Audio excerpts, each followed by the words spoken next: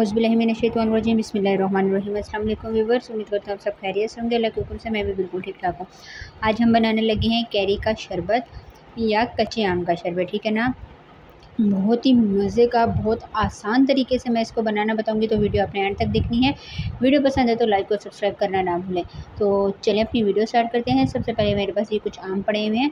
ये आम मैंने मार्केट से नहीं ख़रीदे, ये दरख्त के तोड़े हुए आम हैं, ठीक है? इसलिए इनके साइज़ कुछ चेंज है, कुछ छोटे हैं और कुछ बड़े हैं, ठीक है? आम को मैंने बहुत अच्छी तरह से वॉश कर लिया था। वॉश करने के बाद अब आप ये देख सकते हैं कि क्या नाम है, अब मैं इनका कर लूँगी कि छिलका रिमूव कर लूँगी। ये जी तो ये मैंने सारा छिलका इसका हटा दिया है। अब हम इसके पीसेस बना लेंगे। पीस जो आपने बनाने हैं, वो बहुत ज़्यादा मतलब के छोटे, बहुत बड़े, वो आपकी अपनी मर्ज़ी, किसी भी शेप में आप काट सकते हैं, लेकिन ये ध्यान रखना है, बहुत बड़े बड़े आपने इसके मोटे पीस नहीं बनाने। उसके अलावा अब हम चलें, तैयारी कर लेते हैं। मैंने एक पैन ले देश की ले ली है। देश की में ये हम सारी कैरी डाल देंगे और इसमें आधा ग्लास पानी डाल के मैं इसको पकने के लिए छोड़ दूँगी कि जब तक हमारी कैरी अच्छी तरह से नरम नहीं हो जाती तब तक हम इसको पकाएँगे। पानी आपने बहुत ज़्यादा शामिल नहीं करना, पानी इसमें बहुत कम इस्तेमाल होगा। जी तो तकरीबन 12 से 15 मिनट गुजरने के बाद जब मैंने चेक किया तो काफ़ी हद तक कैरी गल चुकी थी। लेकिन जो पानी था कैरी ने भी पानी अपना छोड़ दिया था और आधा गिलास जो पानी था वो इसके लिए बहुत ज़्यादा हो गया था। तो अच्छी तरह से ये देखिए, मैं इसको मिक्स कर रही हूँ। चूल्हे की फ्लेम मैंने ऑन नहीं रखी हुई है। अब हम साथ इसकी पकाई कर दीजिएँगे और साथ साथ इसको मैं मिक्स करूँगी, ठीक है? आपको पता है कि आगे गर्मियों का सीज़न आ रहा है तो ये कितना फ़ायदेमंद होने वाला है। ये शरबत बहुत ज़्यादा ठंडा होता है। तो आपने ये ज़रूर ट्राई करना है। ट्राई करके आपको मुझे बताना है कि आज के आसान से ये रेसिपी आपको कैसी लगी।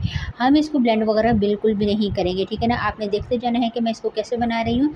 जी तो पाँच से छः मिनट गुजरने के बाद काफ़ी हद तक ये सॉफ्ट हो गई थी। मैं इसको चम्मच की मदद से इस तरह मैश कर रही थी और कैरी इतनी अच्छी तरह से गल चुकी थी कि ये खुद ब खुद मैश होती जा रही थी। आप देख सकते हैं, अब हम इसमें चीनी शामिल करेंगे, ठीक है ना? चीनी का शीरा वगैरह हम नहीं बनाएँगे, चीनी डायरेक्ट मैं इसमें डाल दूँगी तकरीबन एक कप के करीब चीनी। चीनी डालने के बाद अब आपने इसको मिक्स करना है। जैसे ही आप इसको मिक्स करेंगे चीनी डालने के बाद तो ये थोड़ा सा मतलब कि पतला हो जाएगा, ठीक है ना? पहले बहुत ज़्यादा गाढ़ा था, ये थोड़ा सा पतला हो जाएगा लेकिन आपको टेंशन लेने की बिल्कुल भी ज़रूरत नहीं है, आप इसको पकाएँगे, अच्छी तरह से इसको मिक्स कर देंगे तो ये दोबारा अपनी शक्ल में आ जाएगा।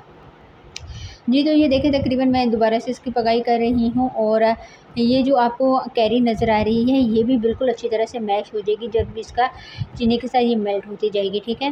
तकरीबन छः से सात मिनट मुझे और लगे तो ये बहुत ही अच्छी तरह से गाढ़ा हो गया था और बहुत ही अच्छी तरह से कैरी सारी हमारी मैश हो गई थी।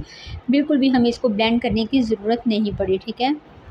अच्छी तरह से मैंने चूल्हे की फ्लेम ऑफ़ कर दी है।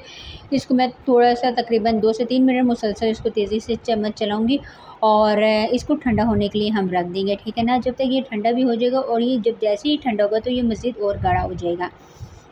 जी तो आप ये देख सकते हैं, मैंने एक बाउल में निकाल दिया है, कितना गाढ़ा हो गया है और बिल्कुल ऐसे लग रहा है जैसे हमने इसको जग में डाल के ब्लेंड कर लिया था, लेकिन ऐसा कुछ भी हमने नहीं किया। माशाल्लाह से कितना खूबसूरत कलर आ गया था इसका। और बिल्कुल अच्छी तरह से ठंडा हो गया तो चलें अब इसको हम ग्लास में सर्व करते हैं और शरबत बना लेते हैं अपना। आपने दो ग्लास ले लेने हैं, उसमें अब हम भर देंगे ढेर सारी बर्फ़। ठीक है, बर्फ़ डालने के बाद मेरे पास थोड़ा सा काला नमक पड़ा हुआ था, हम काला नमक इसमें शामिल करेंगे। काला नमक शामिल करने के बाद अब आपने जो कैरी का मिक्सर बनाया हुआ है, ठीक है ना? शीरा जो आपने बनाया है, वो आपने दो दो चम्मच इसमें डाल देनी है। दो चम्मच डालने के बाद ये आप देख सकते हैं इस तरह से अब हम इसमें पानी डालेंगे। पानी आपने नॉर्मल टेम्परेचर वाला डाल दें या ठंडा डाल दें, वो आपकी मर्ज़ी है, क्योंकि बर्फ़ हमने बहुत ज़्यादा इसमें डाली हुई है। जी तो ये आराम आराम से आपने इसमें पानी डालना है और अब चम्मच की मदद से इसको मिक्स करना है कि ये अच्छी तरह से सारी चीज़ें मिक्स हो जाएँ। तो मैंने दो ग्लास बनाई है तो बनाया है तो इसलिए मैं इस तरह कर रही हूँ। अगर आपने सारा बनाना है तो आप एक बड़ा सा प्याला या कोई भी कुछ चीज़ ले लें और उसमें आप बना लें, ठीक है ना? जितना भी आपने अपने घर के मेंबर के हिसाब से बनाना है। जी तो ये देखें ये इसकी फ़ाइनल लुक है, माशाल्लाह से ये कितना खूबसूरत लग रहा था, कितना खूबसूरत कलर आया था और मैंने चेक किया, मुझे बहुत ज़्यादा ये पसंद आया। क्योंकि ये बहुत ही आसानी से और बहुत ही जल्दी से बनने वाला है, इसमें कोई भी मेहनत नहीं है। तो आपने ये रेसिपी ज़रूर ट्राई करनी है। ट्राई करके आपको मुझे बता ट्राई करके आज के लिए इतना ही। इंशाल्लाह नेक्स्ट वीडियो में मुलाकात होगी। तब तक के लिए अल्लाह हाफिज़।